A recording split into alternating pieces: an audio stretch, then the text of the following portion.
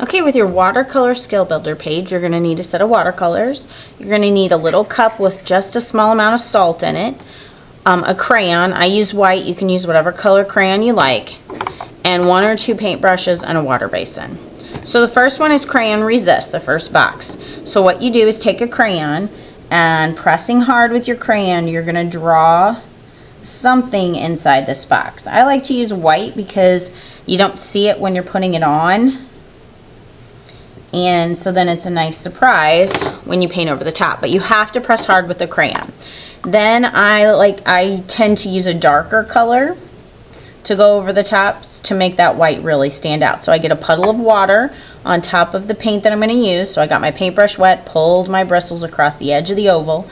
Then I gently tap or touch the water and swirl it around and then that paint underneath it changes the water to the color and then just paint this right onto the box.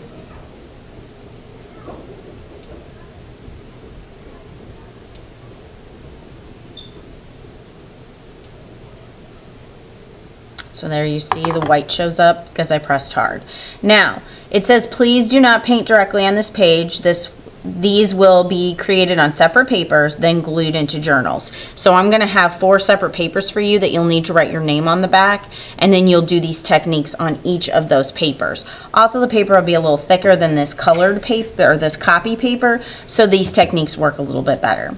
So then this next one is salt. Now the salt sometimes doesn't work if you're not quick about it. So the first thing I like to do is I like to use a dark color again of watercolor. So I'm putting a puddle of water on the purple, the blue violet, wiggling my paintbrush and the water around, getting that color. I'm going to paint this really quickly into this box before it starts to dry. So I want to be fast, not sloppy, fast. Then I take salt, pinch it, and sprinkle it on top. One pinch is all that I needed. So I have all this salt left over, so I'm going to put that back and you can see where the salt is, it's sucking that watercolor paint to the salt. And it's creating a texture of dark spots of watercolor. And then the cut the dark purple paint flows away from the plain areas to the salted areas. And it creates this like salty pebbly effect. And it, it's a nice texture. And then when this dries you'll just brush the salt off onto the trash can. But these, these spots will still stay there of the dark color so down here, it is watercolor showing light to dark value. So what I want you to do is get your paper wet with plain water.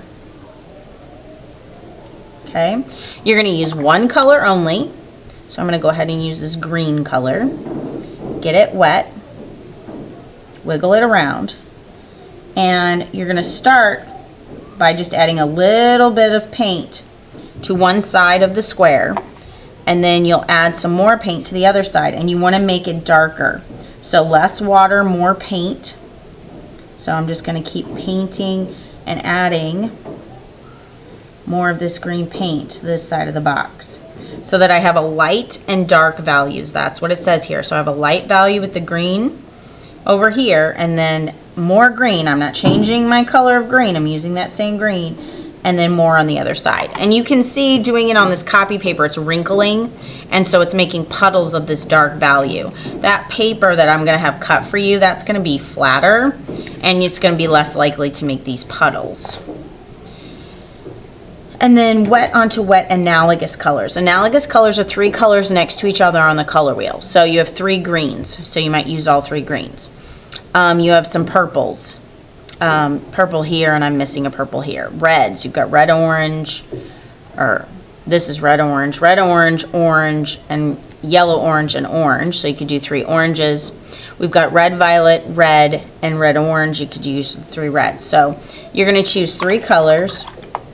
You're going to get the box wet with plain water and then you're going to paint, I'm going to paint three reds right next to each other and let them run and bleed together. So this is red-orange. So now I'm going to get the red, paint red next to it, and let it run together. And then the red-violet, I'll paint last. So there's the red-violet. Now my red-orange was my first color, and I'm gonna add a little bit more to it so that you can see it.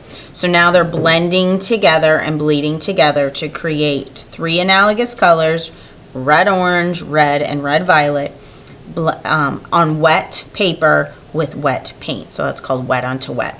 So then you would take these four separate squares that have your name on them, you're gonna put them on a manila paper placemat, and then you're gonna put the placemat with those four squares onto the drawing rack, and the next class I'll pass them back to you and you'll glue them into these four spaces.